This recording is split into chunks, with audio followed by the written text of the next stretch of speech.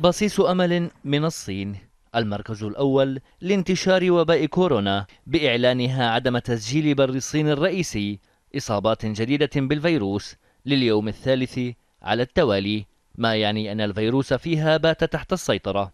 في حين تقول المعلومات الواردة من الصين إن 41 إصابة جديدة تم تسجيلها كلها من وافدين قادمين من الخارج.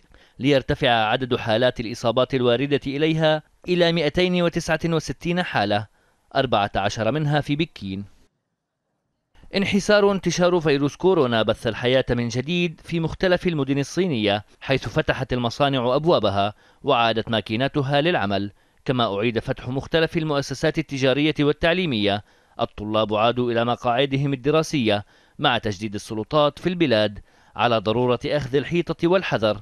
في التعاملات اليومية. صحيفة الجارديان تحدثت عن مرحلة ما بعد كورونا التي تعيشها الصين حيث عادت النساء للتسوق وازدحمت الأرصفة بالمرة. كما عادت حركة المرور لشوارع بكين وامتلأت الحدائق والمطاعم بمرتاديها. موقع وورد ميترز دوت إنفو الذي يعرض إحصاءات مباشرة حول الإصابات في كل بلد ذكر أن 71740 شخصا تماثلوا للشفاء من هذا الفيروس في الصين وأن 81008 أشخاص مصابين.